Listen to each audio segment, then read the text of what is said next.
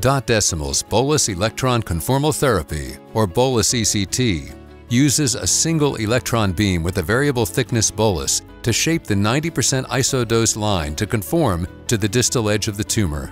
Bolus ECT creates favorable dose distributions for certain tumors on the chest wall, nose, scalp, head and neck, and other sites where tumor volume has spread out near the patient's surface and rendered photon treatment, even IMRT, problematic for a variety of reasons.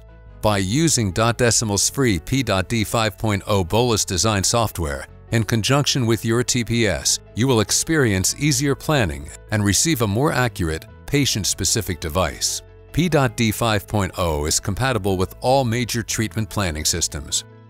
For more information about Bolus ECT, contact us at 1-800-255-1613.